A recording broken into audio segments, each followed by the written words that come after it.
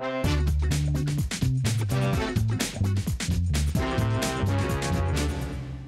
Marie. Uh, thank you for being with us today.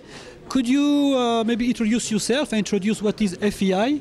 Well, thank you, Armand, and it's great to be here. Thank you for having me.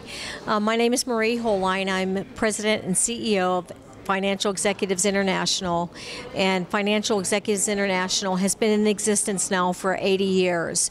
And we are an organization of senior level financial executives, mainly CFOs. We are very honored to have you with us.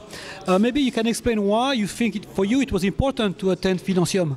Why it's important for me to be here is that we recognize uh, from the U.S. the thought leadership of the CFOs and uh, the senior level financial executives, um, both domestically and internationally. And being uh, present here at the Financium um, allows us to share some of our uh, recent surveys that we've done and our thought leadership, especially our most recent uh, CFO Outlook survey.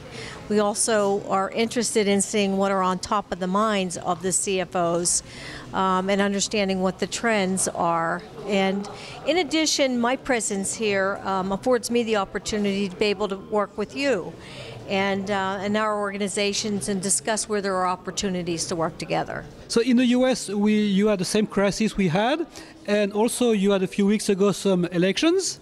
So, what do you think are going to be the uh, the impacts of these elections? We have had quite a, a bit of an of excitement, if you will. Um, the impact, first of all, of the crisis. Just assuming, you know, we're talking about the U.S. here, and one of the most important impacts have been some of the legislative changes and rules and regulations, such as the Frank Dodd Act, which um, is quite interesting. There's like 500 new rules as a result of it, so it will take a, a while to implement. Although the SEC anticipates that it'll be done over the next 18 months. So they'll be creating jobs there.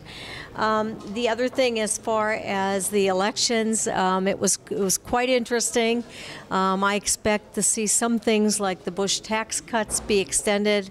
Uh, so there's been quite a bit of change in Washington. So now let's talk about our CFOs, which are our members. Uh, so which major changes do you see for the CFO as an individual and maybe also for the CFO organization? Major change I see for the CFOs are their roles have been expanded somewhat. They're not just the CFO, but they also are they oftentimes a chief accounting officer, liquidity manager, treasury manager, and depending on the size of the company, certainly they wear multiple hats. Uh, in addition, one of the major changes I've seen with the CFOs in the past few years is that their tenure, that used to be much longer, is now only from 18 months to two years. So that's a significant change. You have a quarterly survey. Uh, can you give us the main results of your last survey? It was quite interesting. Uh, our last survey actually showed uh, about a two point increase in the optimism from our CFOs, uh, where we're seeing that CFOs are starting to hire again, our new employees, but more importantly, that they're really focused on retaining the good talent. Uh, that's um, it, we actually, with the increase in the optimism, we saw a dip in the last quarter, um, but we still see that companies and CFOs are proceeding with caution. Thank you very much, and thank you again for being with us. Thank you.